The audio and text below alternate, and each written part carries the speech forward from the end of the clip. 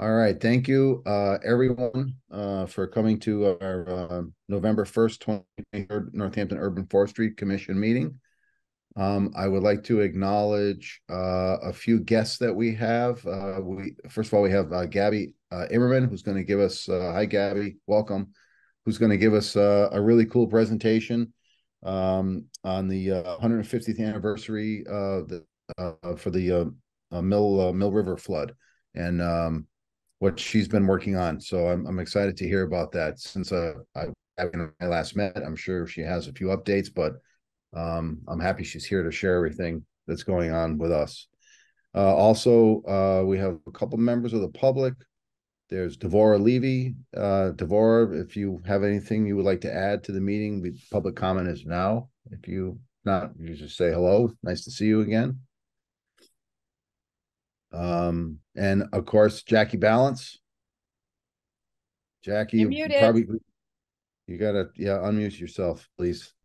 Yes, uh, I sent y'all an email a couple days ago about uh, trying to lobby for peaceful coexistence of solar and trees. And I, if you had a chance to read it, I'd appreciate hearing any feedback because I'd help work on it if you're interested. Thank you. Thank you. Thanks. And, uh, and, and Kent, welcome, Kent. You are, you're, you're a member of the public, but a little more than a member of the public, but you, if you, you feel free to, uh, join in anytime. We, we're pretty relaxed in our rules here. As long as there's no fighting, we're fine. So, um, which typically, tree people don't seem to have that problem. I, I've noticed that they don't typically, well, at least in my experience, but anyways, um. I I all a question for public comment. Yeah. Um, I'm just curious if anybody is interested in or knows about uh Miyawaki forests, which is a way of um creating an in- an intense, small forested plot um that's supposed to grow very quickly. They seem to be sort of taking hold of it in Cambridge. They're doing their third one now. And I'm not sure if it really is that applicable to Northampton because we have a lot of forest, but it, it's a way of um, creating a, a grove um, fairly fairly quickly. They seem to even in a couple of years have significant growth. So um, I could send out some information to the commission if you're interested, or um, just not not sure if it's on anybody's radar or not. You know, it was just on my radar this weekend. I was talking to Rob Postal, who's from Cambridge, and he said that he he was asking me if I saw some information on the Cambridge project. And he said that um, one of our visitors and a former, I think he was a former commissioner, seems to be very involved with it. I'm spacing his name. Help, Rich, the tree person from Cambridge. we Putnam? Oh, Da- uh, uh, Andrew, Andrew Putnam. Andrew Putnam. Yes, he said, and it seems like Andrew Putnam's very involved in that. Maybe he could talk to us about it sometime. Yeah, they they did a fairly good sized one. The first one at Danehy Park, it was probably, I mean, fairly good size, might be a hundred feet. It's a circle. And it, it's not that, and it just sort of plopped down in a park. And I don't forget where the second one was. And now they're just doing a third one that's on a private property. I think it's in someone's front lawn, actually. So I think it's really small. And um, How do you spell it, Ken? It's M Mia M I W A. I'm no sorry M I Y A W A K I. It's somebody's name, a Japanese botanist who came up with the idea. And you know, if you just Google Miyawaki Forest, you'll find information about it. I know there was an article, I think in the Globe not too long ago about the original one in Cambridge. Um, so Could you- Could you spell that again? M I Y A W A K I, Miyawaki. I remember seeing pictures of just like itty bitty, itty bitty little spots with a forest growing. Yes, they're small. Um, and they they start out small. They plant saplings. It's very intense. So they it's they plant a lot of saplings close together, which they compete with each other and makes them grow. And then I guess the healthy ones keep going. And it's supposed to be a way of fairly quickly establishing a small, Hmm. a small woodland, really. Thanks, Kent. You're welcome. Hold on. Okay, we back, we back on there? Okay. Uh, thank you very much, and I, even though Northampton is, yes, uh, more forested than some of the other communities in the Commonwealth, I think we're um, we'd be very interested in looking into that, um, because I think originally um, David Lukens, who can correct me if I'm wrong, but one of the things that we were trying to uh, put together as part of the drafting of the new significant tree ordinance was uh, planting trees uh, and woody plant material in groves and actually uh, promoting that um, as a way to uh, to basically have those uh, carbon sinks in uh, urban heat island, especially in the urban heat island areas of the city. Um, Yeah. so I think I think it would be really it'd be really interesting. The other thing too is that there's a lot of obviously stu- there are some studies out there about the um um about the, the the concept of trees actually living in a grove and actually communicating with each other and communicating with the soil and how that all kind of plays into um the little uh um the um the the microclimates that they create and the habitat that they support. So yeah, definitely. All right, I'll send out some links. I'll see if I can dig up that recent article, especially. Okay, great. Th- thank you. Uh, I see Jordan's. Thank you, Jordan. Made it. All right, great to see you. Okay, um, I did, uh, any other public comment? Okay, perfect. Um, the minutes from the, uh, October fourth. Did folks have a chance to review them?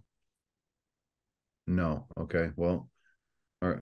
Um, well, if Molly, whoever did not have a chance to review them, if you have a chance to review them, that would be great, and then let us know when you're finished, and can. Someone can make a motion to accept them or amend them.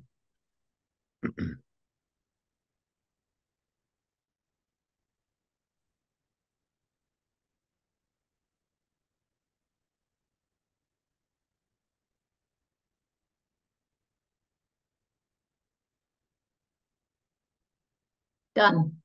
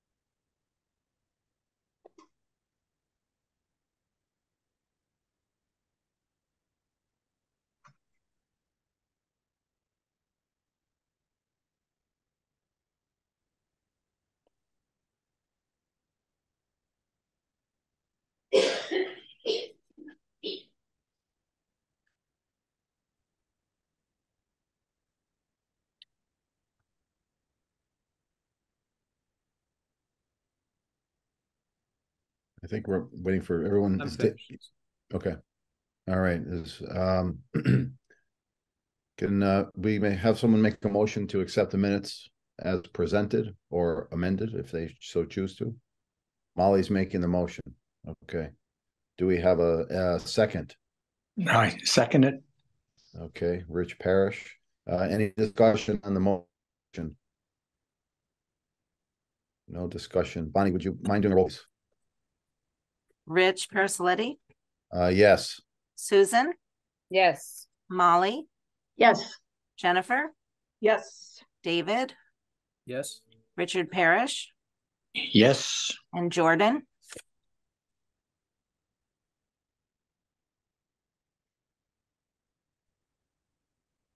Oh, Jordan, Jordan's there, but I don't, Jordan is there, yes. yes. Driving, I believe. Uh, Driving, yeah, Hmm. and is muted. Okay, well, we have. Jordan, can you hear us? No, having technical difficulties. Okay. All right, well, we can, I think, well, the motion passes. Um, so we can just leave that Jordan uh checkbox blank for the moment. Okay, All right. you. Um, okay, thank you. Um, moving along, so chair report, tree warden report, so.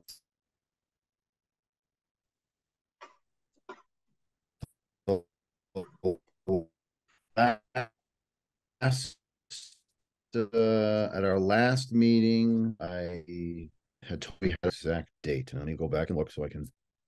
October's done. a pretty busy month.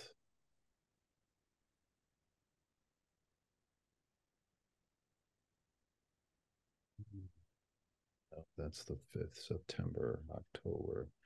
You're gonna have to pardon me. Public shade hearing was the tenth of October. Um. At Park Hill Road, um, there were no objections and those, tho- that was only for two very small trees. There was a three inch. Uh, red oak northern red oak and a inch and a half. I don't remember an inch and a half, uh, inch and a half cherry maybe. So there were no objections to the uh to the removals. Um, the mitigation is roughly around seven hundred dollars for t- both trees. Um, the applicant has agreed to pay the mitigation and also pay uh or, or plant some trees on the site after the construction. We have to work that out. Um, but they're gonna be paying for the removal and they're also paying for the advertisement in the Daily Hampshire Gazette. So there's been no, um, there's been no, um, no issues with that. Uh, the other public shade tree hearing that we had last May, which you recall in Leeds, which was in regards to a, uh, utility, uh, upgrade, utility line upgrade for National Grid. Oh, yeah. That public shade tree hearing happened. There were no objections. However, that project has still yet to be permitted. Um, city and National Grid, I believe, or the permit hasn't been approved by the city. Um, because National Grid, there's been some delays because they have to actually apply for uh, permits from Conscom in order to remove all the trees along that uh, ridge line because of their uh, proximity to the Mill River. So that still hasn't yet. Um, I will keep you posted. But as far as our end of the public tree hearings, we are, we don't have to do it again. Um, um, the other thing that I wanted to mention to you, just a quick update, um, about Main Street for everyone. So I've been having, uh, uh, some correspondence with, um, Stephanie We- Weir, who is, um, one of the chiefs, uh, the, one of the principal, um, landscape architects that's working for Toole Design, who is contracted by the city. Um, and we've had some back, back and forth about some of the trees that are to the first churches, the, the old Heritage NIS Bank, which is now Urban Outfitters, I believe. So there's potentially, uh, there was some interest in potentially making a water feature, um, in that area somewhere next to where that is. Not exactly what type of water feature, um, but they asked me to go back out and assess the health of those four trees. Which are four, those four trees are, um, slated to remain, um, as part of this new project that's going to be happening in 25 or 26 um and, and um i just reported back to her that the trees the uh, elm trees in particular in front of first churches are in i would say fair condition. Um the soils there are really compacted um because of the amount of traffic that happens uh, the pedestrian traffic that happens so they will i will i'm going to work with uh, a local contractor to to air spading uh, and some root invigoration. Um, there, um, and some fertilization, and probably in the spring. But um, I'm not exactly sure what the water feature is going to look like, and but it's I don't believe it's going to be impacting. Um, I don't believe it's going to impact those trees at this point because of their condition. The other thing that I uh, was made aware of is that their the city council uh, will have to do um, an acceptance of Main Street. So there apparently is no formal acceptance of Main Street that they could find um, at the Registry of Deeds or through any other um, documentation over the years, because Main Street is probably the one of the oldest streets in the city, dating from the 1600s. So, in order for Mass DOT, uh, which is standard operating procedure, in order for them to um, proceed with the project and provide us with the, the funding and all the design work, they have to have proof of ownership or proof of acceptance. So that will be another um, public process, um, similar to the ones that we had to go through about eight years ago when there was multiple private ways the city had to accept that we we thought were city right of ways.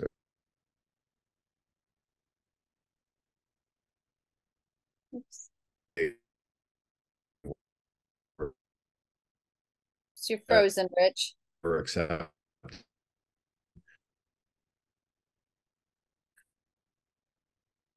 So that'll be another uh, process that we'll have to certainly, um, can you hear now? That, no. So, so, huh?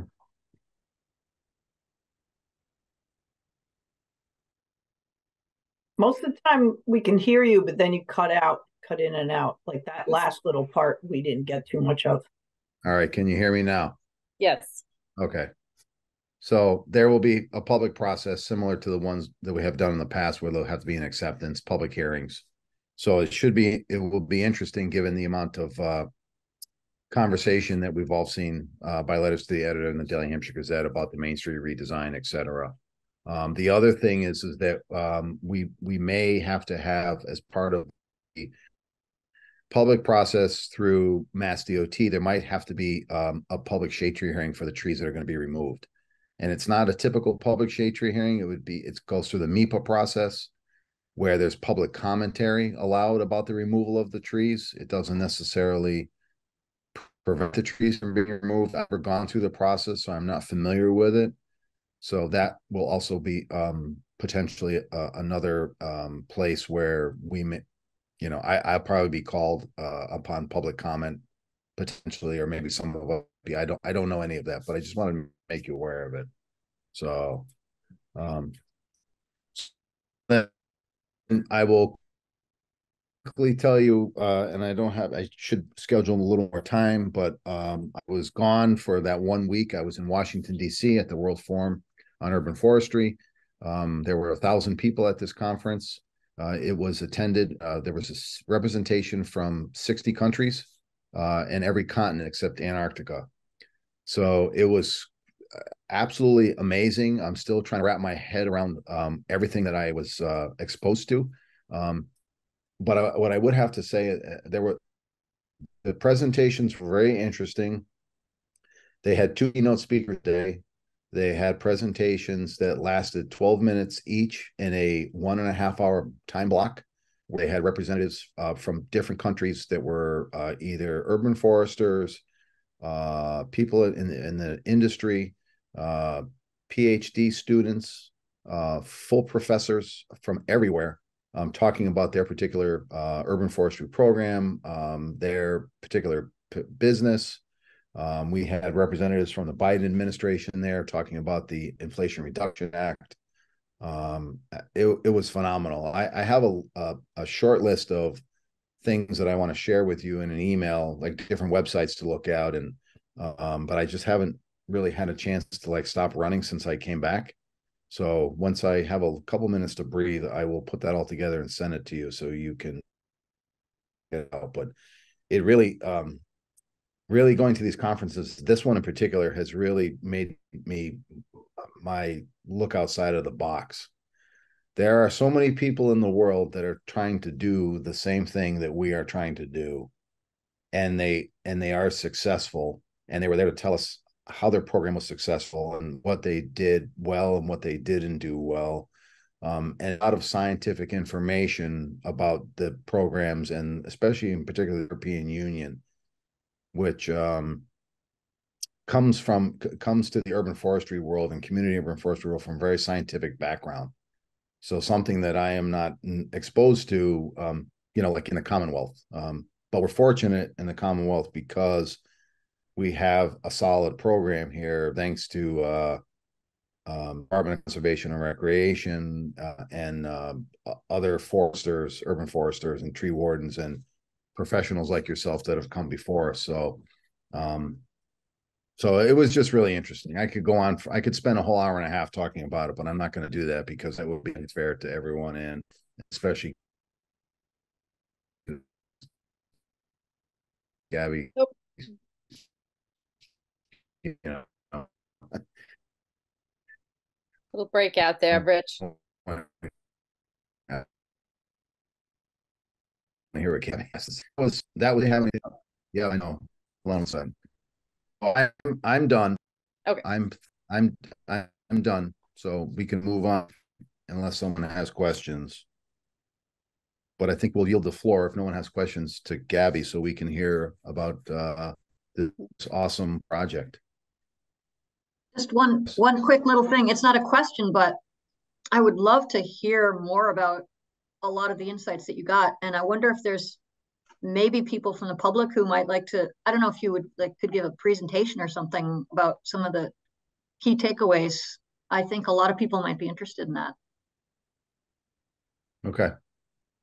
I i i'm i'm uh i'm interested in i'm still trying to like i they had qr codes for everything. So luckily i had my phone with me. So i was able to take pictures of everything and i was able to actually hook to all these websites. So there is mm-hmm. definitely a lot to there is a lot to talk about um, and there's so much uh, urban forestry training available um, either through uh, uh, you know universities uh, they have programs for people uh, workforce development um, you know comprehensive training for volunteers i mean it's, it's everywhere realize how this how big this movement really is until you go somewhere where there's a whole bunch of other people from 60 countries that are trying to accomplish that's the same thing that we're trying to accomplish.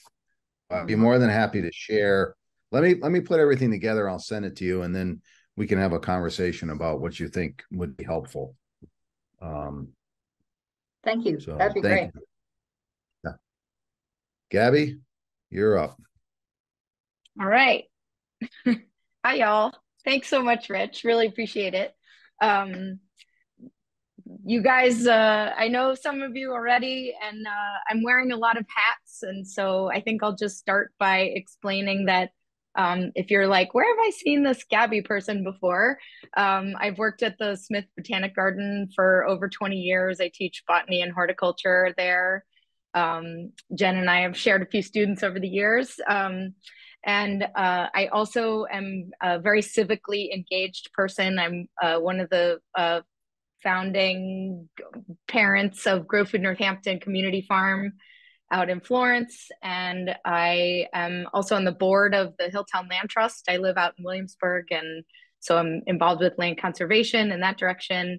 And then the hat that I'm wearing to speak with you all today is as one of the conveners of the Mill River Greenway initiative. Um, and um, some of you, I'm sure, know my uh, my adopted father, John Sinton, who is uh, the visionary and founding parent of the Mill River Greenway Initiative, and I'm kind of a the son of son of John as far as um, uh, carrying on those legacies. He's still involved, but also um, pushing 90 and ready to ready to bequeath it to the next generation. So I'm here on behalf of with John and, and all our partners in the Mill River Greenway Initiative. Um, so I, I, brought a few things to show and tell. Um, I'm, I'm really specifically here to tell you about a tree project, but I just want to start with a 30,000 foot. And I'm going to share screen just to show you um, a couple of things. And then I emailed everybody one document, but also anything else that I've got here that anybody else wants to see, I'm more than happy to share um, at the end of the presentation. So first of all, I just want to show you that, um, let's see, I'm going to share my screen right now, that uh, the Mill River Greenway Committee has a beautiful website. Here, I'm going to reload it so you can see how our cute um, website populates when you first open it. So this is millrivergreenway.org. And um, it's a kind of a landing page for this community initiative. Um, the Mill River Greenway Initiative is um, in part a movement to create a shared use path, but we've always conceived of that much more broadly as kind of an intention of giving the Mill River back to the communities that live along it. Um, it's uh, as you all know, Northampton and Bay State and Leeds and Florence and Williamsburg and Skinnerville, all of these villages were founded based on growing up around mills, you know, um, water powered industry um, going back to colonial sediment. The if you don't know, the first dam on the Mill River was uh, at Smith College, and that's in the what would become Smith College, and that was in the 1660s. So um, this is why it was named the Mill River, and it's really responsible for um, the location and the raison d'etre of all these little towns. And then all these towns have kind of, in some ways, forgotten that they're river towns um, because the industries have moved on. Um, and so the Greenway Initiative is just really interested in giving the river back to the communities and in any number of ways. And we involve with educational initiatives and um, invasive plant uh, remediation and mapping projects. And we're involved with, we do lots of work with the local colleges. And then a lot of this work organizes around the creation, uh, the intended creation of a shared use path following the course of the Mill River from Northampton to Williamsburg. So um, interestingly, in Williamsburg, the project is further along.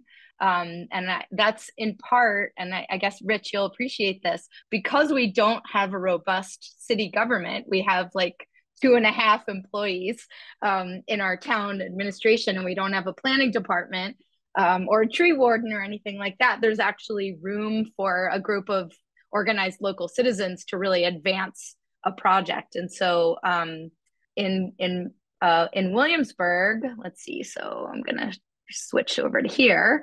In Williamsburg, we're uh, we're much farther along in actually uh, planning, um, gaining consensus, planning for, and and now we're uh, almost in the phase of implementing this greenway. So um, you guys can see these maps that I've got up now. Okay, so the map on the right here is an ortho map showing you the course of the Greenway in Williamsburg and the dotted line there, that's just Route 9. It's going to follow along on Route 9.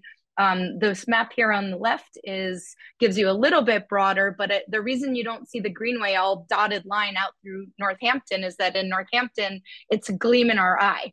Um, it doesn't exist uh, per se, and that's because a project like this would need to be um, um, adopted and championed by the planning office and the other city agencies. And so we can serve as an advocacy group, but we're not in the same position to actually advance it.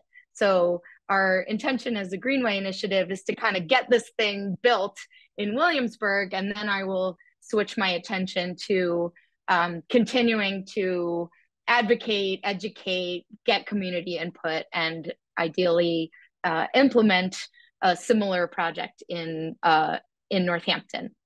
Um, I wanted to show you that uh, in, so here's just an example. Again, this is out in Burgy, and I appreciate this isn't your, um, you know, your charge, but just to give you an idea. So if, if anybody's familiar with this curve, if you drive out to Williamsburg, this is the part where you can't, you have to get off your bike because uh, you could die, you could die biking around this curve. We call this the pinch. So this is the current um, condition right here. And this is what the Greenway will look like. Um, and we're actually probably within five years at this point, we're hoping to have this exist. Um, and just to make it even cooler, this is actually what the path looks like. This is a cross section to show you that the path is actually cantilevered out over the river in this section. So we don't interfere with the river's uh, footprint and or or implicate the river at all. There'll be some armoring of the bank there to prevent further scour. But this is how you get a, um, a an extra ten feet of width going around that corner without implementing, you know, without um, negatively influencing the river is by hanging, we're hanging the bike path off of the, off the road bed there. So it's, this is all a really exciting project. And there's, I, I literally have a 60 slide deck about Williamsburg, but you'll be pleased to know I'm not going to show you that. I just wanted to give you a little taste. So this is what I'm really here to talk to you about. Um, here's where we pivot into the tree adjacent part of my talk today.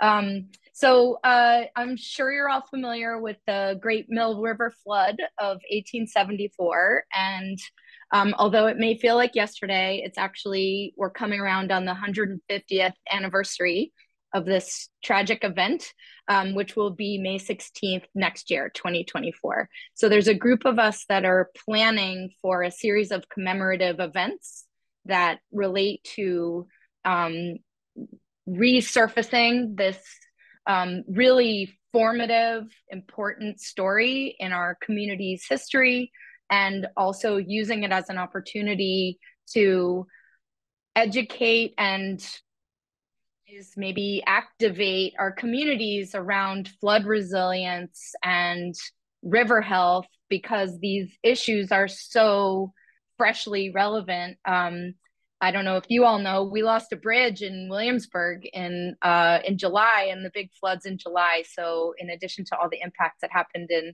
Northampton, one of the two bridges in Haydenville is now closed because the abutments got scoured out in those enormous floods of um, roughly July 10th. So these, although this, the, the 1874 flood was a, um, a human made, um, I guess in a way they're all human made, but this was an this was an industrial accident. In fact, at the time, it was the largest industrial accident in American history, um, soon to be superseded by much larger industrial accidents. But um, uh, you know, the the floods now that come from these enormous rain events that we're having as a result of climate change, um, the issues around the Mill River and um, flood safety and flood resilience are, are very relevant today.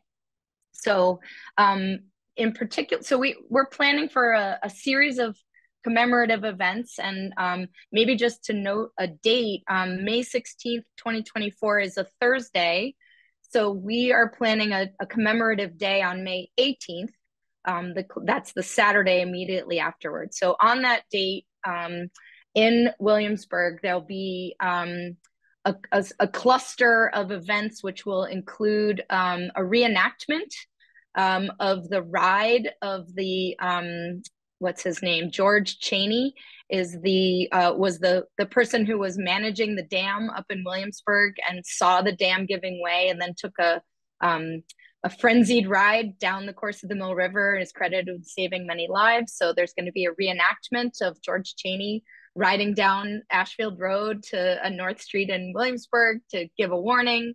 Um, there'll be a commemorative service at the Williamsburg Church. We're hoping to have exhibits at the Meekins Library and Historic Williamsburg Historical Society at that time. There'll be some tabling from local organizations like Hilltown Land Trust um, around kind of present day um, surface water management and land conservation opportunities and all those things about sort of how can you get involved now and what are the what are the ways in which this story is relevant to you today and then um, we're also going to be creating a self-guided interpretive tour um, that follows the length of the flood, which is Williamsburg into downtown Northampton, that's going to have about 75 um, historic markers. We're going to be erecting signs with historic photos and this banner. And then um, actually, let's see. Um, I just put in, oh, I know it. Okay, sorry. Forgive me. It's it's on a different. We're going to create a brochure. Um, if you can see this, follow the flood. Um, and then, so this is a mock-up right now, but all these red dots are going to be locations where there's a physical marker um, out in in the towns, and um, you can either access this online, a virtual exhibit, or you can drive along and see photographs like this that are going to be posted in the locations of the present day. So to re- resurface the history.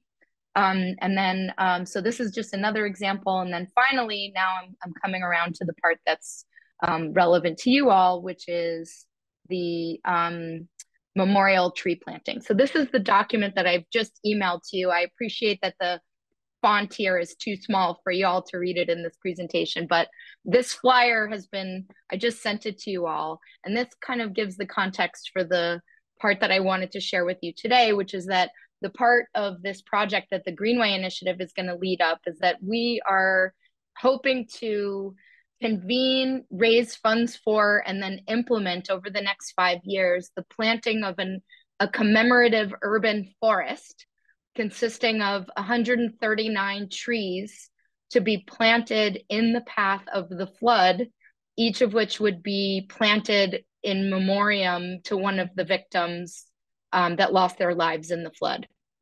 So, on the one hand, we create a living memorial to the folks who died, and um, I'm, I'm, it's, it's very affecting to know that many of the folks who died were families so um, we have all that information working with Betty Sharpe, who wrote the book uh, In the Shadow of the Dam. And so we know that um, this family of five lost their lives in Skinnerville, and this this group of people lost their lives in Leeds. We know where everybody lived and all the names of the folks who died in the flood. And so our intention would be to dedicate the trees as appropriate in the locations of the towns they lived in or the factories that they were working in when they lost their lives. Um, and so this is where you all come in because the um, this urban forest would take place in the path of the flood. And if you can see on this this map on the left here, and again, you have this in your inbox, so you can zoom in after my presentation. The blue lines on this map are the the approximated extent of the flood. And we've got this map all the way from Upper Williamsburg, where the flood began, down through Leeds and Florence. It, incorporates the Grove, what's now the Grow Food Northampton Community Farm, is where most of the flood spread out and slowed down. But the water from the flood came all the way through Northampton, through the channel of the Mill River, and ultimately out into the Connecticut. So the intention would be to site and in, install 139 trees path of the flood um, again in association as much as possible with the individuals who lost their lives. So this is really what i wanted to share with you guys. There's not anything immediate um, needing to be done. Um, i am planning to do a lot of private fundraising um, to furnish these trees so that for example if folks that are on private property would like to host a tree, there's no need for these to all be, for example, street trees. Up here in Williamsburg, we're going to be building this greenway. It's two miles of a green belt. That's going to be a wonderful opportunity to furnish trees all along the green belt of the new greenway. We're also just built a new public safety complex um, at the intersection of Route 9 and South Street. That's a new green space. Uh, we we hope to um, you know revitalize that as a green as a green space that can host some of these trees so we'll we'll be able to provide sites um, for many public infrastructure projects in williamsburg and then we'd be really we're just really excited to work with you all and work with rich and the um, you know the the planning and implementation of the urban forest in leeds florence and northampton for any trees that are either planned anyway or that we could enhance the presence of the urban forest within the floods footprint.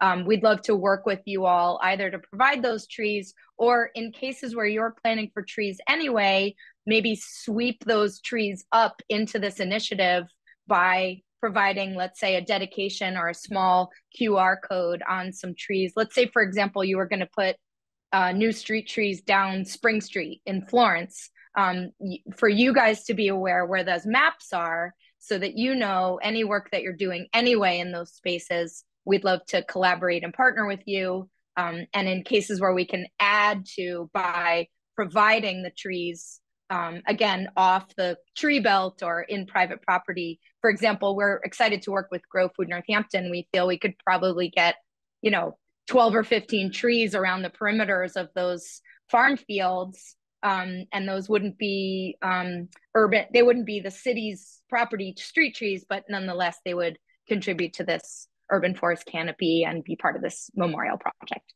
So um, I think that's what I've got. Oh yes, here's a close up of this of the map. Again, I'm up in Williamsburg, so apologies, I don't have these all built for the Northampton section yet, but I'll be working with you all to think about. These red dots are um, imagination, right? They're not um, officially established spots, but just to give you the concept, the blue here, of course, is Mill River. The black line is Route 9. And then we're kind of imagining where we might be able to fit trees into the urban landscape here in Williamsburg. And we'd hope to generate a similar map in partnership with you all for uh, Northampton. So um, I believe, yes, that's it. I don't have a tree speak label for you, so I will um, get out of this and stop my share. Um, the reason I had given myself that note was just to say um, we do have intention that each tree would have a very small plaque, and by small I mean you know two by three inch um, something just hanging, which would give you a QR code which would send you to that website to give you more information. So we don't want to clutter the trees up with signage, but we do want some way that you could see the name of the person and then a way to learn more about that person if you are interested. So um, thank you for listening. I would love any questions or concerns that you guys have. My main intention with coming was just to so you guys could see this in the forecast and that we'd love to partner with you in any way that it feels synergistic with um, the work you're doing on the Urban Forestry Commission. Go ahead, Jen. Um, so if we um if we are gonna like I know we're gonna be probably hopefully if the weather holds, we're gonna be planting some more trees down in Florence Fields where they died already in the swale. Mm-hmm. Um like would that be something you could account for? Yeah, it sure would. I think so, the the sort of official kickoff is we're going to plant the first tree on May 18th, probably on the church grounds at Williamsburg uh, Congregational Church on North Main. So that will be the like official first tree. And we'll have some sort of brochure that we can hand out if folks want to make a donation or those kinds of things. But I think in terms of the accounting, um, we might, yes, I think we can sort of backdate it in a way, right? So uh, it might even be, and we can talk about this. It's I'm I'm extemporizing here, but there might even be some some younger trees that are already planted that we want to um, back dedicate um, as part of this campaign. But on the other hand, this is also an opportunity to provide a net new 139 trees and mm-hmm. so i don't i don't want to backfill too much with existing trees because i think we actually have the opportunity to add to the canopy um, in this way that i think will really my i'm i'm uh, perhaps biased since this is my idea but i do think that this will inspire folks to make donations and um, get involved and uh, and so to the extent that that is adding to a constituency for the urban forest i think um, you know there's i think there's a lot of synergy again with thinking about the flood what's the history of this but also what's the present day impacts of these stories. So um, I think we have a compelling story to tell about the value of these trees um, beyond their their memorial power. Yeah. Hi, Molly. Hi. Hi, Gabby. Um, I have a couple of questions. One is, do you already have a map um, in Northampton that shows the the flood zone? Yes, we have the flood zone, but it doesn't have any red dots on it because I wouldn't yeah. presume to tell you all where to plant your trees. But right. yes, we do have the flood zone maps are all created and um, easily easily shared. I'd love to see. I'm I'm sure we would all love to see that because yep. that'll figure out where would be places to put the trees. Yep, um, for sure. Another question I have: so who would actually be doing the planting, and um, is there funding for like um if you need uh, CU soil or you know soil improvement for the trees, would that be included too?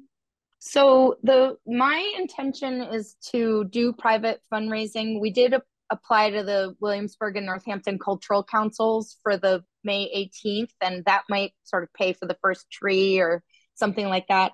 But um, my plan is to launch a fundraising campaign through the Mill River Greenway uh, C3 and invite people to make a $150 donation in honor of the 150th anniversary and thinking that 150 kind of endows a tree in a way not endows actually rich that's probably the wrong word but um you know furnishes the tree.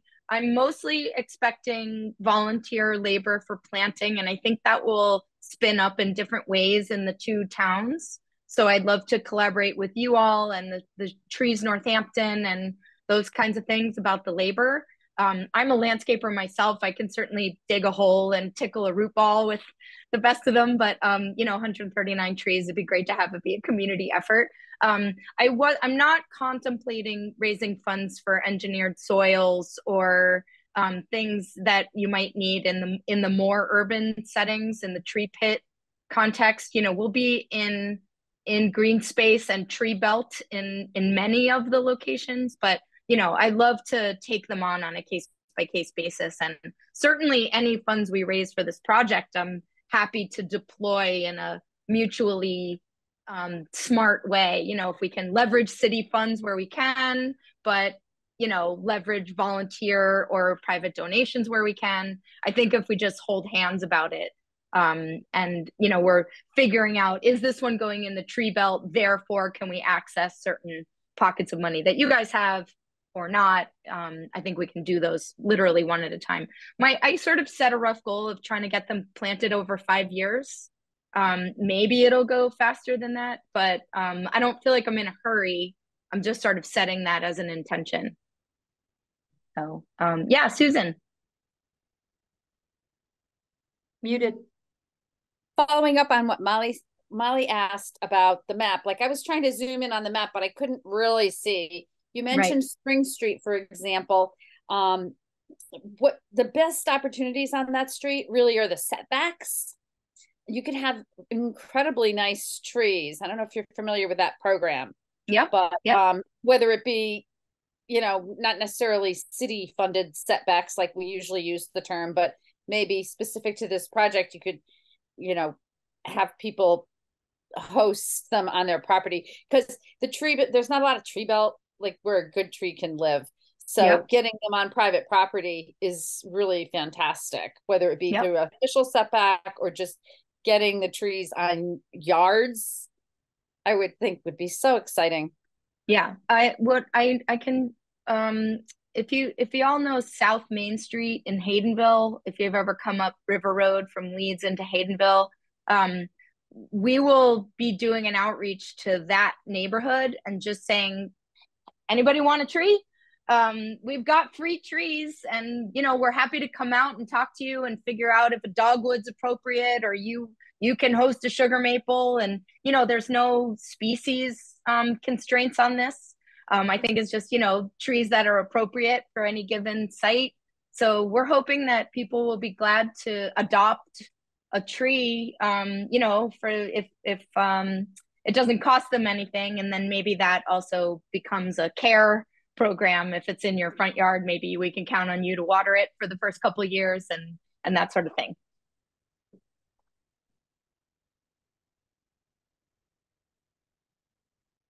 gabby a quick question uh, have you given any thought to uh planting like a grove of trees uh yes. in relation to where there probably was a larger loss of life like the yep like in the in the areas where there were uh, more houses destroyed. I, am just curious if you've identified on that map, and I don't think we talked about this when we met. Have identified any locations that might be on city property that might be able to support a grove of trees that would commemorate, like like the five folks that died in that one family, for example. Right.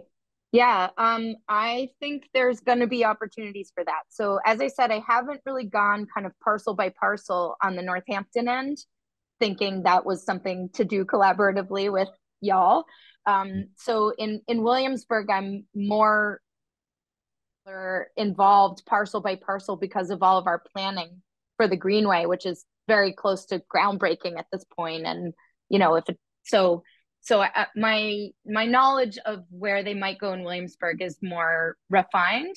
But I think you know, you and me and a map and a sharpie, Rich, we could have a really good time um, uh, identifying those opportunities and um, and yes, I, I, I we do have an intention around clusters or groves where they fit. Um, so I'd be excited to work with you guys about where some of those places might be. Okay. I, I, and I really, I really think this would be great. Um, I, I also would like to challenge you um, to, uh, instead of planting one tree on Saturday, May 18th, we should be planting all of the trees. Now, the only reason I'm saying that is because if we had one large order of bare root trees, it, it the, the issue is not we could get the trees. The issue is all the legwork and identifying the locations. yeah. But how incredible would that be to actually plant them all in one day? Um, It's, I yeah. like the idea. Um, I'll tell you, and William, I'm, I appreciate it. First of all, I love, I love the challenge. Thanks for the boost of enthusiasm. That's excellent. Um, in Williamsburg, just to, to put a practical matter on it, the Greenway construction is going to be rolling out over over the next several years, and so I I do have a strategic reason for waiting for some of the destruction to happen, and then coming back in with all of this, you know, beautiful wealth of urban forests as is part of the reconstruction. But I, I'd be excited to look at Northampton. I mean, this winter, Rich, let's let's have our maps and Sharpies date and um, maybe identify some of those sites because I do think if there was a place where bare root could be, you know, I'm I have Smith College mind where you need to get two or three inch caliper before it's safe to put them out in the world. Um, but if if we can find some locations where saplings or even this uh, Miyawaki forest idea, you know, maybe this is a way to plant a whole little forest, uh, at least at least in that area of um, Florence Fields and grow food. We've got so much open space there. I think there's, and it's a it's a very profoundly important place where this is where the most of the debris from the flood ended you know so so it really was the final resting place for many of the folks that lost their lives and um, so i think that's maybe there's a maybe there's a real opportunity to install a small urban forest at grow food sometime next spring i'm totally game for us to have that happen as part of the commemorative event so maybe we can meet in in the middle between 1 and 139 The bare roots are wonderful if you ha- even if you had a smaller load because they're so much more economical. yeah and they take so well Yes.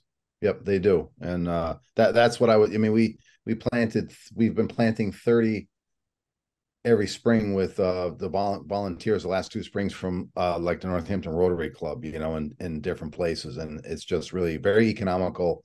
Um but those are places that there's a large area to plant so it makes life a little easier. But yes, I I definitely think as far as I'm speaking just for myself, but I think I can speak for the commission. I think we'd love to collaborate with you to try to to try to get this all um to to get this up and running and whatever support you would need from us. And again, I'm speaking for myself, but also for the commission. Please don't hesitate to reach out to us for anything. great We're always looking Yeah. for a good project. Am, am I am I Wonderful. right, folks? We're always looking for a good project. Everyone's just got to like nod their heads. Yeah, all right. got some Uh, thumbs ups Uh, J- Jackie, have your hand up, Jackie. Yeah, I just had an idea for if, if you really wanted to plant them all in one day. Maybe David could talk to the kids at the high school and you could get the high school environmental club. Teenagers have a lot of strength and energy. Plus, Mhm. plus the history department could bring in some teenagers. Just a thought. Yeah. Yep. No, thanks. I love it. Yeah, well, um, you know, Rich, we'll follow up. Let's follow up in the next couple months, you know, before you guys put in your bare root orders. Um, I, I certainly could imagine us organizing an event, a, a one day event in one location in Northampton, whether it's at Grow Food Northampton or some other smart place that we all agree. Maines Field. I mean, there's there's plenty of you know public infrastructure green space that that could could be part of this um and uh and maybe making it part of that weekend um that that seems like a great great idea and it would sort of kick off the northampton aspect of of planting the the northampton cohort of these of these memorial trees Yeah, yeah, So- it'd be it'd be kind of interesting. Molly, just one second, hold on. It'd be interesting to actually plant, start off planting in Williamsburg, and then actually start off the same day and plant somewhere at the very end, and then Mhm. we're sort of like connecting the two communities together. I don't know. That's just Yeah. that, that would be very um That's beautiful. Yeah, it'd be really, The railroads. yeah. So, um, and then I think Molly is going to mention that we have a survey of Leeds, maybe, maybe not, that has planting location setbacks. So go ahead, Molly. That's not what I was gonna mention, but it's, yeah, that's true. Um, no, what I was gonna ask is, um, I assume that you're going, that the map, uh, that shows the flooded area goes along the former bed of the river through the center of the city, not like where the river is now. Yes, So along that bike path. um, yes. That, is it, what is that? Is that Maines Field, the one that's like, um, behind Route sixty-six? Um, that one where the, the roller skate park is, the skateboard park? Oh, yeah, Veterans Field. That's Veterans Field. Yeah, yeah. Yes, It goes. yes, it that's used to right. Go, didn't the river used to go right through that park? Yes, we, we call that the hidden mill back there, right, where the, the former path of the Mill River and there's some, still some sort of kettle ponds out behind, uh, bre- the brewery along the bike path there. Yeah, Yeah. the, the, the old bed of the river, that's right. That would be an interesting place to put trees and, and along that section of the bike path, because a lot of people don't know that that was actually the, the, uh, bed of the river before. Yeah. So it'd be combined with some info, you know, education about, about that. Right. Yeah, great. Yes. Yeah, so you'll see so so yes is the answer. We have it on the old old flood bed. Um the by the way, just for the map nerds out there, it's pretty much done with contour lines. Um is how right because there's no records of the flood went to exactly this spot. Um but so we use the contour lines to roughly sketch in where the assumption is and because all the debris washed out at Grow Food Northampton at Florence Fields, it's mostly just the water column and it would have been high water going through the old riverbed. It's not that it was out, you know, two city blocks in either direction the way it was in the upper part of the flood. Um, because all the debris was out of it and it was just the the water that washed through. But there was uh, Betty's got some records. I think a bridge, maybe a South Street South Street Bridge or one of the bridges in Northampton was taken out uh, by the by how much water there was. So, um, but yes, on the on the old bed. Um, these are great. These are great thoughts. I appreciate all this. Uh, you know, group think. It only makes the project so much better. So glad to have you all involved.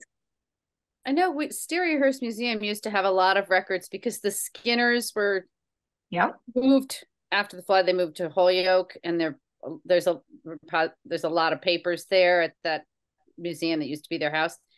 Yeah. And people used to people came from Boston. Like there was a big market in images of disasters, and so a lot of people would come and you know, Mm. there should be a lot of images of it.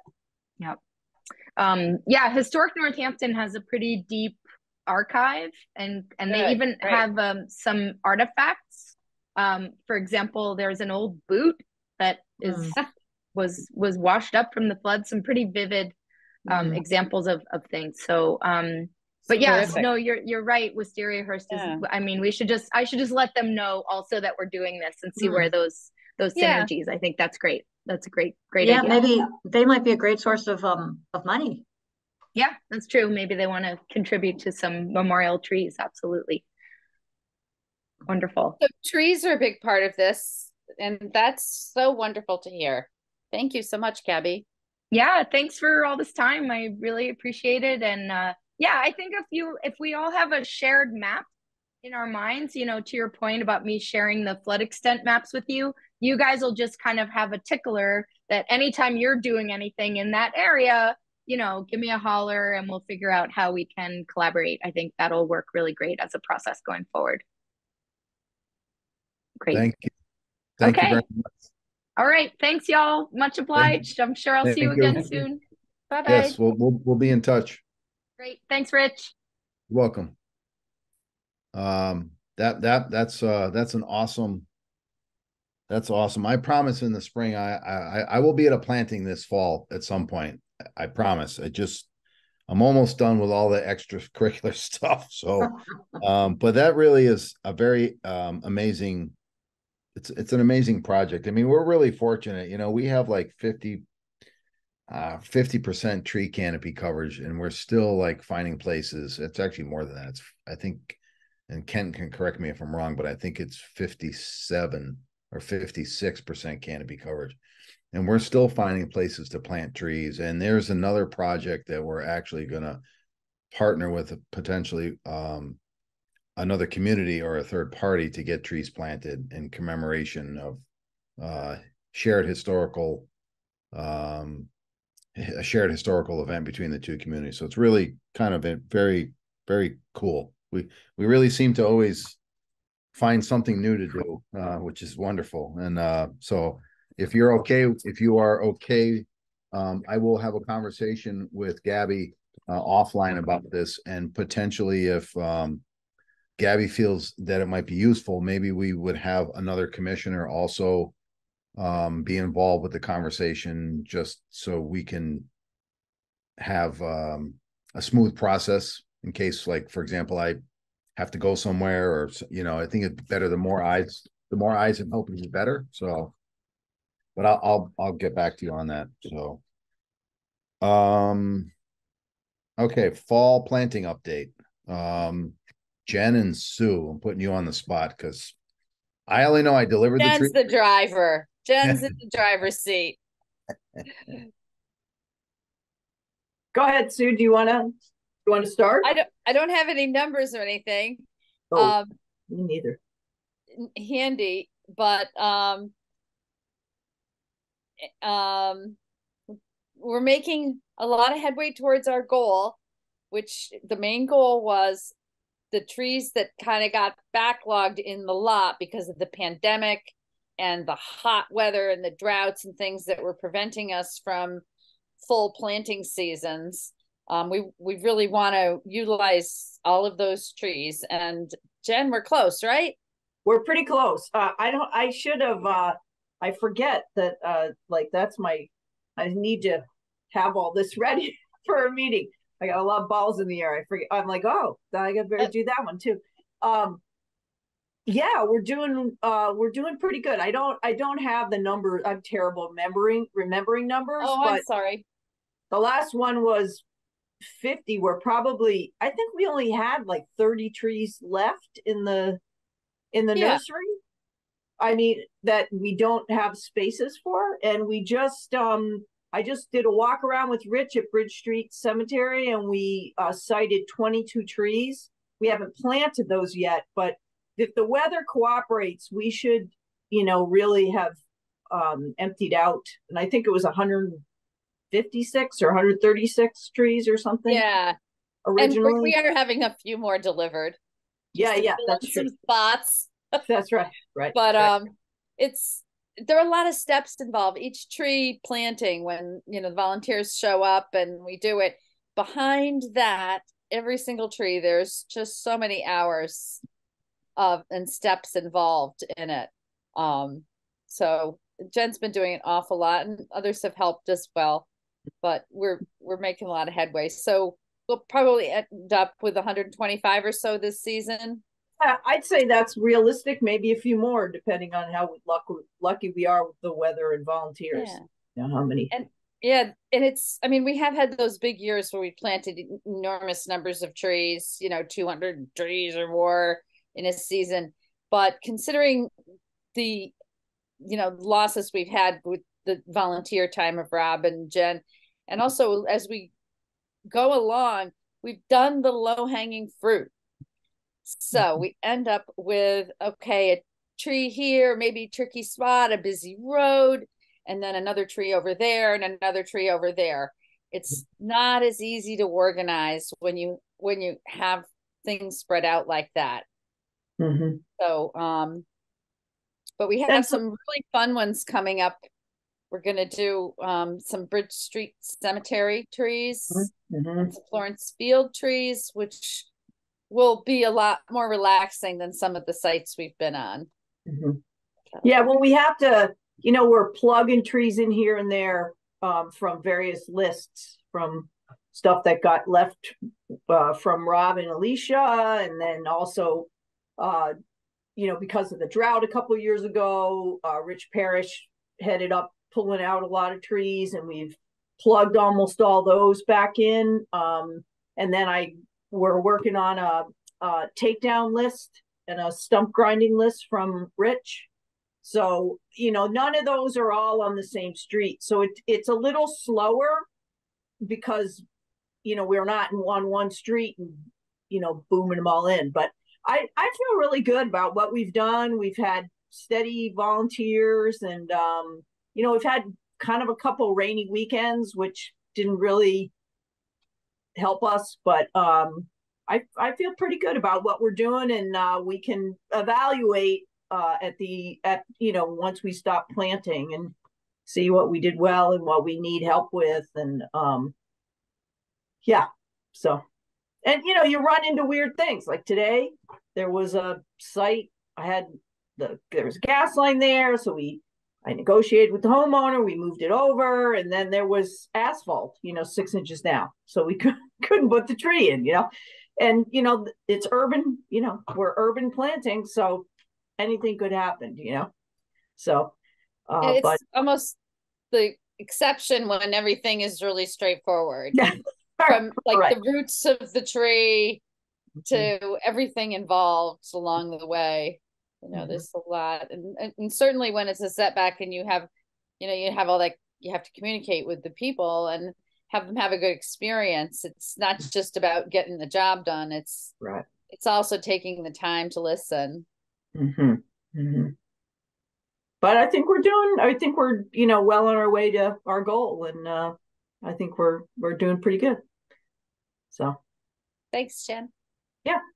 Thank, thank you. And I would, I would tell you, I went down to the nursery yesterday to uh, turn the water off and winterize things. And the nursery is it's the least amount of trees I've seen in there in a long time. So um, it's making a, of course, the leaves fell off too. So that's another that makes it look uh, a little different. but uh, but I know they've been, I know that they are. We keep pulling trees out of there. So uh, I'm looking forward to getting the rest of the season in. Uh, hopefully, we will be able to finish, you know, right before Thanksgiving, or if the weather stays warmer uh, and we have stock, great. Um, I did. Uh, this is something a little separate from the fault, but it has to do with planting. I did meet with a um, two residents that are uh, part of the HOA on Ice Pond Drive uh, on uh, uh, let's see, yesterday, Tuesday morning. Um, there are like 12 uh, green ash trees there that are either virtually dead or just about, you know, they have less than 10% of their live crown ratio left. And um, I like to plug in that location for a spring planting. Um, so I'm going to be, uh, I talked to Jen, I talked to Sue about it a little bit, but I'm going to send and craft an email and send it to the HOA because I think the way that we're going to approach that um at le- at least this is my early initial thinking is that we are probably going to take all the ashes down and then grind all the stumps and we're going to start from the beginning instead of trying to plug in trees underneath existing ash canopy like we've done in the past. Mm. um and the hoa uh folks uh are interested in volunteering at least the ones that i talked to. So but hopefully we might be able to use uh you know our bare root planting stock and our method there maybe be part of our spring Mhm. uh, earth day arbor day planting so Mhm. so there are there are a few places like that there's ridgeview ridgeview road is another location that has a lot of ash trees um they're not all planted in one like block where there's six on either side of the street but um and the other place is village hill um which has a lot of ash trees that are uh, especially on um Moser Moser Street on the Yeah. going towards uh like the dog the uh dog park community Mhm. gardens they're all ashes in there so we will probably have to look at that that as well and have a conversation Mhm. um that particular HOA that's in that one area so um but anyway so there's definitely places to plant in mass still it's just again the, the resources to get all those trees cut down and get all those stumps grinded in time for Earth Day?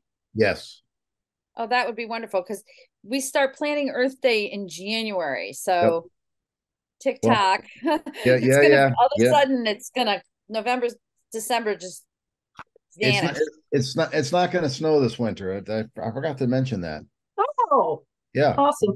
We're gonna we're gonna be planting until January. No, No frozen, no frozen root balls either. Oh no, nothing. It's gonna be beautiful. Today was just a little blip on the radar. We're all Today's good. Oh, okay. snow, huh? um, This is it. Yeah. Yes, Molly. Quick question. Those ash trees on Ice Pond Road, are they dying because of emerald ash borer? Yes. Okay. Yes, Yeah, they're dying. if it was, the- so that it's already here, it's Oh. attacking and. Oh, yeah. Trees, yeah. We're, we're also gonna have another location on Armory Street that are pre-existing green ashes that have been there. They've been there for as long as I've worked here. Yeah. And you can see how large they are. They're not very large Mm. because of the, because of their soil volume. But we are gonna have to take down the majority of those as well, and some actually going into the uh, Armory Street parking lot. Mhm. Uh, so there'll be other places to plant there. So that'll be happening. The remove, some of the removals will happen in mid-November. And I'm gonna try to have the ice pond, um, the ice pond trees removed as well. I just have to get that, get them their email so they can understand what's happening, so they can spread the word to the residents and then also notify the mayor's office in case there's an issue with someone complaining about a large amount of trees being removed and maybe not necessarily knowing why. Um, and then um, getting the stumps on Armory Street, the stumps have to be pulled out.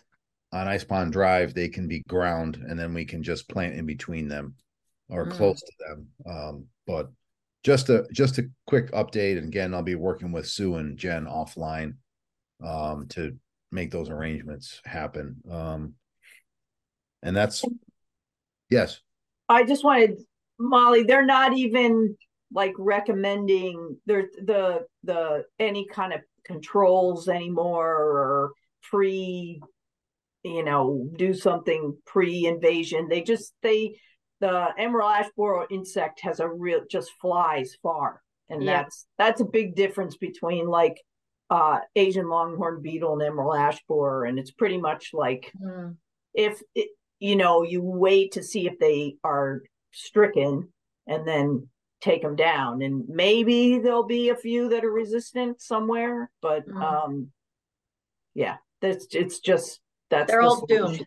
yeah that's the They're all solution doomed. right now yeah yeah Oh, That's Yeah. it sounds like the um homeowners association has some understanding of emerald ash borer. That's correct, right? Yes. So Yeah. Our, Understand what's gov- going on and that there's a reason. Mhm.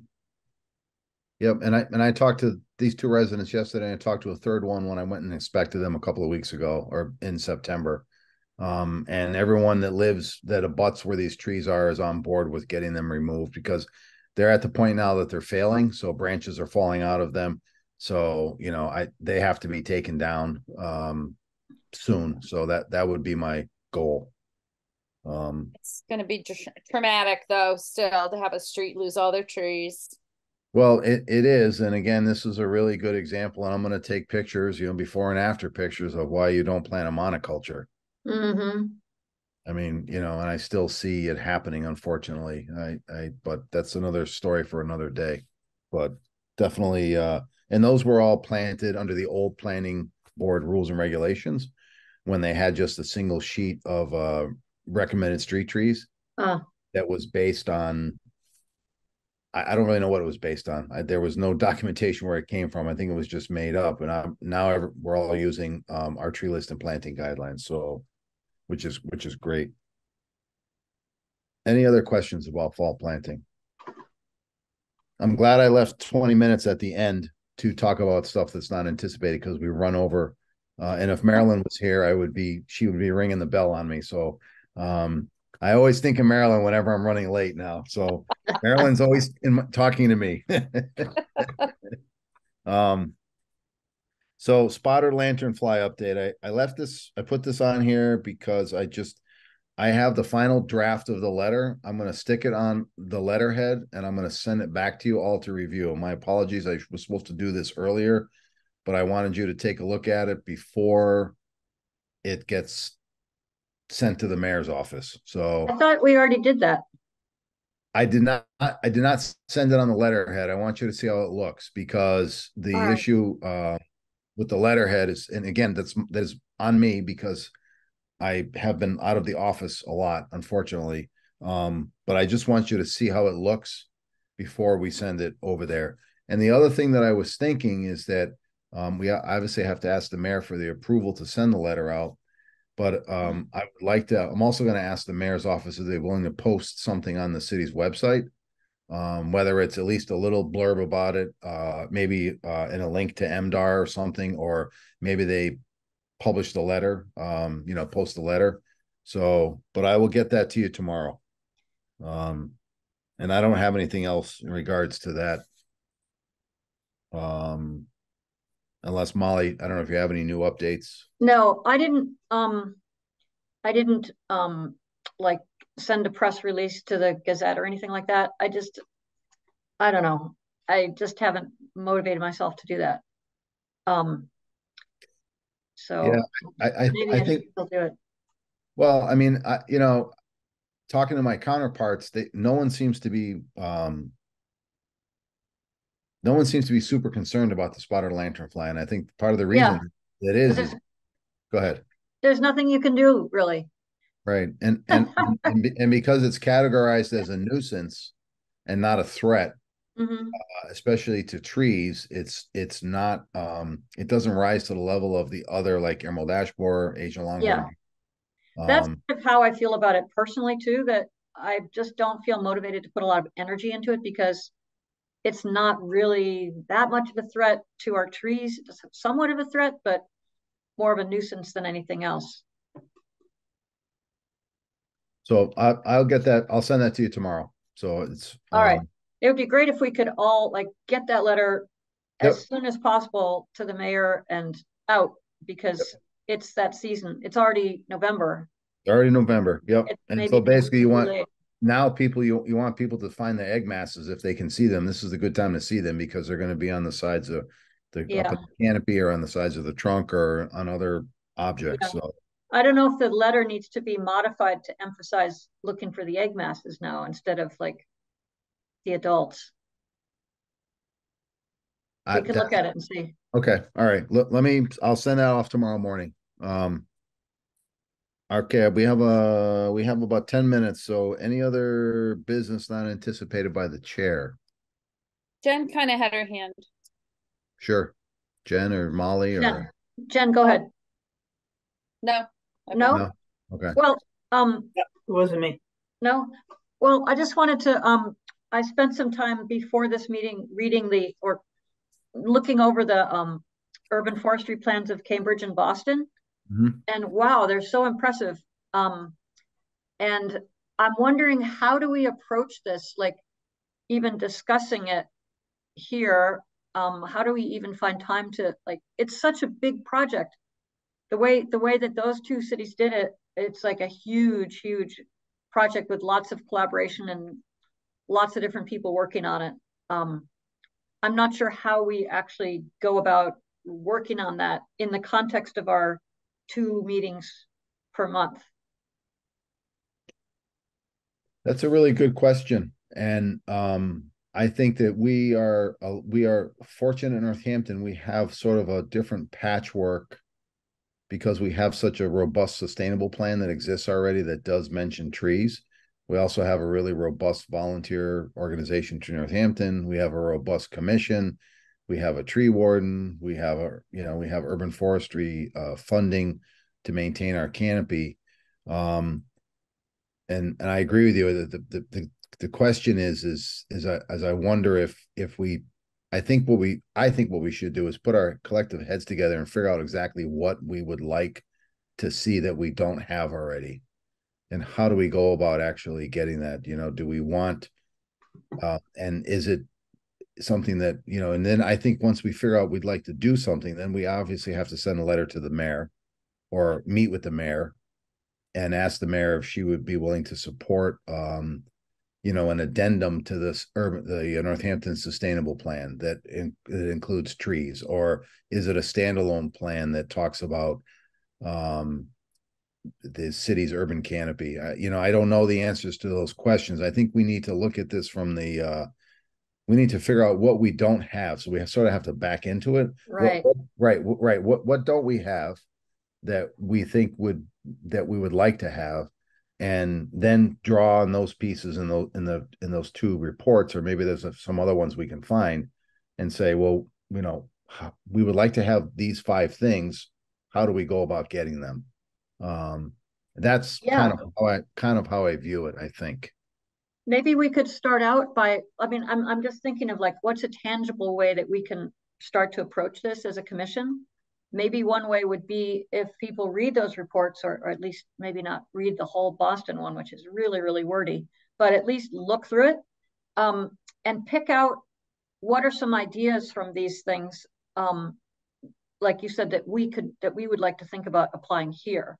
Mhm. Um, for example, like one of them is the whole thing about buy-in from private landowners, you know, because I see that as an obstacle. Like, how are people going to feel about us, like telling them what they can do with their private trees? So how do we work on buy-in? Maybe there's some ideas we can get from those, but maybe what we could do is like all of us could read those and sort of make a list of ideas from those that we'd like to pursue, you know, that things that we're not already doing. Mhm. I, I think that would be good. I also think, um, not to be a pain, but it might be helpful for us to put a deadline for that. Mm-hmm. We actually know that we have to come to like, um. Yes, exactly. Like our first meeting in January with, I'm using that as an example, our first meeting in January with, we've read them all. Uh, maybe we find a few, maybe we find a few others that are more uh, comparable, um. Population wise, yeah, Mhm. and then we come to that meeting prepared with just like a, a cheat sheet of what. We all came away with it and just have it, just use the meeting for that discussion for everything, basically. Maybe we could even create a Google Doc um, of that we can put our ideas into, Yep. Yep, just a- like a list of the ideas that yep, each think of that could come from those plans or from just our heads or anywhere. okay. All right, I, I can make a, go ahead, Sue. Let's see on the Cambridge um, example, you have an 18 member task force with a paid lead person. They're holding two hour meetings over several years in different community community locations. I think that's all about building up, Molly, the Mhm. The conversation in the community to build the awareness of of how important trees are. Right, and buy-in. So it's and buy-in. So I don't know, you know, without a paid person to leave an lead an 18 member task force from Yeah, different, you know, they have the economic sector, you know, people from different sectors of the community Mhm. bought into this. And then that reverberates out, presumably to an acceptance in the community for such a project. I mean, it's pretty big undertaking, and I don't know how that scales down to Northampton and what kind of leader. You're need somebody to lead lead it. I was impressed in Boston. I it was one of the first on the first page. It said that they created a new forestry division within their parks and recreation department. And this forestry division now has 11 full-time staff. I'm like, oh my God. Wow. With that, you could do anything. It, yeah, that, that's really interesting because at the class that I was in Holy Cross today, one of the instructors uh, asked anyone, asked people in the, polled people in the audience, how many of you just work on urban trees? And there was only about four hands that went up. So that is interesting in itself. What dovetails exactly what you just said, Molly, is that most people um, that have a role like mine um, in most of the communities in Massachusetts are, you know, spread very thin and doing a lot of different things. And one of the the the reason our our initiative has been so successful is because of the buy-in we've had the great work by the commission of uh, the people that are here in this meeting, plus people of the past commissioners, Tree Northampton, two different administrations. Um, but it, that just kind of resonated with me about like those are the kind of things that should be identified. You know, you need to, you may need to have a standalone person that does just forestry that may have to work for this particular person at the public works department versus having it housed in one person uh you know it's just one example um but um but i definitely think that um if i guess i i can set a deadline if you want it all right we can wait till our next meeting that's entirely up i will leave that you think about it and maybe someone could email me their collective thoughts about that I Um, like your starting point there, the idea that we all read this and possibly one more by January, the first January meeting. Is that what you said? Yes. So that would be part of the goal. And then was there another part that you said? Um, no, other than just actually come, you know, have, we, in the interim, we'll have a Google sheet. I'll, I'll make a Google document that people can actually put their thoughts on. Um, and then we can just sort of like hash things out. Um, about what we've thought about or what we'd like to have or what we already have and what we like to do, you know, things we do well and maybe things we'd like to do better. And, you know, how do we quantify that and actually make that a sustainable initiative and what, you know, who do we have to, you know, what are the stakeholders we need? Um, if, you know, do, do we make our own separate standalone plan? We have a lot of good buy-in in this community already, but you know, are there pockets of people we're missing? you know, there's a lot of questions to be asked, and I think we need to ask a lot of questions of ourselves and sort of reflect on the program that we are running or the initiative we're we're running here and see if there's a better way of doing it. That's all, and and actually making it sustainable. Hi, Kent. I just wanted to say, I did find some examples of urban forest master plans from cities that maybe have less resources than Cambridge and Boston. Hmm. I- I could send those out if that's interesting. It's Yeah. it's more written, but Fantastic. They're they're less grand, like Burlington, Vermont has one, and um, I'll s- I'll send the links to. I think I have four or five of them. Per- Perfect. Thank you, Great, for doing our doing our homework, Ken. Thank you, Yes, thank you. What a resource you are. Stu. It's I'm Jen. sorry, sorry, Jen. Sorry. Yep. I was In the wrong part of my Um, screen. I just apologies. would suggest that somebody send out a- a periodic reminder or push that, um, you know, this, we're, I mean, all my best intentions of, oh yeah, I'm gonna read those things and I'm gonna, you know, I think uh, it's helpful for me is if there's some, just an email reminder, like at some interval that says, don't forget, you know, here's our timeline. We need people to be prepared. The Google Doc is here. You know what I mean? I mean, we're all well intentioned, but I think the meeting we discuss it will be much more productive if people are it's a way to hold people accountable. I don't mean to be whatever, but I just think I've seen better results in in other places in my life if those, you know, just little reminders go out, you know. And the key thing is resending the link because you may think, Mhm. oh yeah, I'm gonna Yeah. work on that. And then you end up looking for the email with the Where's link. the link? And then you see your Yes. cousin's email and you get all these Yes. distractions. Ah. Right. Yes. Right. Right Well- now, I'll just tell you, the link to those two, the Cambridge and Boston, is in the minutes from the last, was it the last meeting in October or the one in September? I think it was a September one, actually. September one. I think what I'll do is, um, when Kent sends the links out, I will actually create a master email with Oh, all the perfect. links and a link to the Google sheet. Oh, that's great. And, and then if, um, although if someone, if Marilyn was here, she'd be able to remind me when to send the emails out. So Marilyn's not. I could always ask her to come back for a short period of time. Um, but, uh, I will, uh, I will do my best to remind myself and all of you that we need to make sure we just sort of stay on track and be prepared for that, um, prepared for that meeting. So, I could send out some reminders too. okay.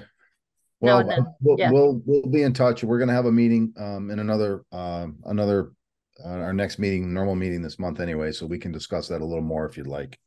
Um, and I also wanted to discuss, but we're out of time. Uh, I wanted to talk to you a little about a, a PDS professional development series that is, uh, going to be, um, hosted by Mass Tree Wardens and Foresters in twenty twenty-four, uh, at some date and time to be announced. Um, that is, uh, gonna be surrounding, um, volunteer, uh, volunteer, maybe volunteer tree committees, volunteer tree, um, uh, uh, like Tree Northampton initiatives, things of that nature. So there might be a, there might be an opportunity for some of us to present um, at a PDS that would be, you know, have probably about fifty attendees potentially to talk about Tree Northampton Um, and we're looking to get a few other communities potentially, and I'll, I'll keep you posted at the next meeting. Cause I'll know more in a, in a couple of weeks, but.